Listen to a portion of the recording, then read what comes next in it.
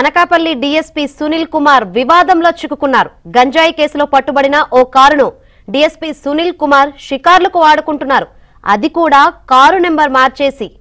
ఇప్పుడు ఈ వ్యవహారం పోలీసు వర్గాల్లో కలకలం రేపుతోంది.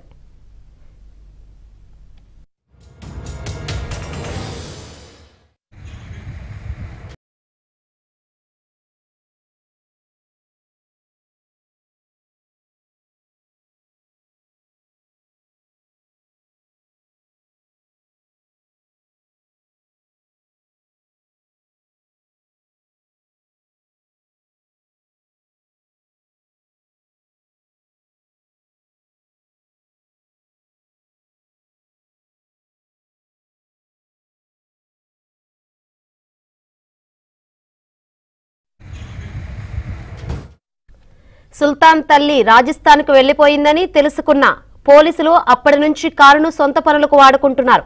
కొన్ని రోజుల క్రితం ఆ కారులో కుటుంబంతో కలిసి డీఎస్పీ సునీల్ కుమార్ విశాఖ బీచ్లో విహారానికి వచ్చారు. ఫ్రీగా వచ్చిన వాహనం పైగా తాను డీఎస్పీ ఎదురేముంది అనుకున్నారో ఏమో. బీచ్ రోడ్లో వెళ్తున్న మరో వాహనాన్ని ఢీకొట్టారు.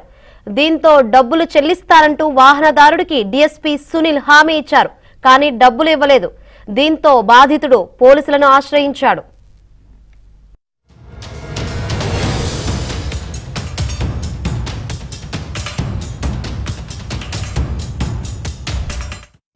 పాప ఈ కారు వేరే వారిదనుకొని పోలీసులు చకచక వివరాలు సేకరించారు. కానీ ఎక్కడో తేడా కొట్టిందే అనుకుంటూ కంగారు పడ్డారు. అసలు విషయం తెలుసుకొని షాక్ అయ్యారు. అసలు కార్ నెంబర్కు ప్రస్తుత కార్ నెంబర్కు పొంతన లేకుండా ఉంది. అంతేకాదు ఈ కారును గంజాయి వ్యవహారంలో స్వాధీనం చేసుకున్నట్లు కూడా నిర్ధారించారు. కారులో డీఎస్పీ ఉండడంతో కేసు నమోదు చేయకుండా ఉండిపోయారు. ఉన్నతాధికారుల దృష్టికి తీసుకెళ్ళారు.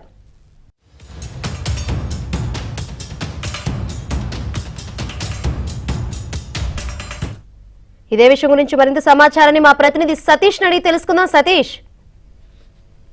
శంకరి ప్రస్తుతం అనకాపల్లి డిఎస్పీగా పనిచేస్తున్న సునీల్ కుమార్ వివాదాల్లో చిక్కుకున్నారు. అయితే ప్రధానంగా మనం విషయంలోకి వెళ్ళినట్టయితే ఆర్కే బీచ్లో ఫిబ్రవరి తేదీన మరొక వాహనానికి ఢీకొట్టడంతో ఈ మొత్తం గంజాయి కేసులో ఇరుక్కున్న ఈ కారు వ్యవహారం పట్టబయలైంది. అనకాపల్లిలో డిఎస్పీగా పనిచేస్తున్న కుమార్ అదే కారులో వెళ్తుండగా ఆ సోషల్ మీడియాలో వచ్చిన ఆ యొక్క విజువల్స్ బట్టి ప్రస్తుతం ఇది సంచలనంగా మారింది. ఇది ఈ కారుకు సంబంధించిన వివరాలు మనం పూర్తిగా వెళ్ళినట్లయితే ఇది సుల్తాన్కి చెందిన కారుగా పోలీసులు గుర్తించారు. ఇరవై నవంబర్ పదకొండవ తేదీన ఈ కారుని గంజాయితో పాటు పోలీసులు పట్టుకున్నారు. అప్పటికప్పుడు నిందితులు ఆ కారును వదిలి పారిపోవడం జరిగింది. ఈ కేసులో పూర్తిగా దర్యాప్తు చేసిన పోలీసులు జీమాడుగుల్లో సుల్తాన్ అనే వ్యక్తిగా గుర్తించారు? అదే కాకుండా సుల్తాన్ అనే పేరు మీద కూడా రిజిస్టర్ అయిందని గుర్తించడంతో పోలీసులు ఆయన్ని పిలిచి కేసు నమోదు చేసి అరెస్ట్ చేసి రిమాండ్కి తరలించి స్వాధీనం చేసుకున్నారు. అప్పటి నుంచి ఈ car Kasimkota Anakapalli police station పరిధిలోనే ఉంది. అయితే పోలీసులు తమ వ్యక్తిగత పనులకు అదేవిధంగా పోలీసులకు సంబంధించిన వ్యవహారాలకు సంబంధించి ఇదే కారుని వాడుతుండడం కూడా పోలీసులు ఈ వ్యవహారం ద్వారా బయట బయటపడింది.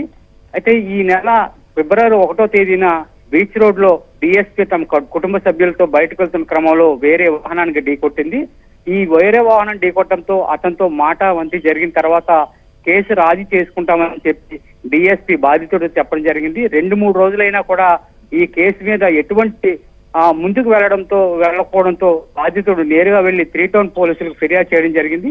పోలీసులు కూడా వెంటనే కార్ నెంబర్ ఏదైతే AP thirty one BN triple one six అనే నెంబర్ని ఆధారంగా చేసుకొని వాళ్ళు లొకేషన్ చేయగా ఈ కారుకి స్విఫ్ట్ కార్కి సంబంధించి నంబర్కి సంబంధం లేకపోవడంతో అసలు ఈ కార్ ఏంటి అని లోతైన దర్యాప్తు చేశారు. ఆ నంబర్ ప్లేట్ అనేది స్కార్పియోకు చెందిన నెంబర్ ప్లేట్గా గుర్తించారు. అంటే ఈ స్కార్పియోకు నెంబర్ ప్లేట్ చెందిందో ఇదేనా దొంగ కారా లేకపోతే థెఫ్ట్ వెహికల్ లేకపోతే ఏదైనా క్రైమ్లో ఇన్వాల్వ్ అయిందా అనే కోణంలో పోలీసులు దర్యాప్తు చేయగా ఇది స్కార్పియోకు చెందిన నెంబర్ ప్లేట్గా గుర్తించి అసలు ఈ కార్ స్విఫ్ట్ కార్ దేనికి సంబంధించింది అనేది చాసీ నంబర్ ఇంజిన్ నంబర్ పెట్టి పరిశీలించగా అనకాపల్లి పరిధిలో కసింకోట పోలీస్ స్టేషన్ పరిధిలో కేసులో పట్టుబడినట్లు పోలీసులు గుర్తించారు.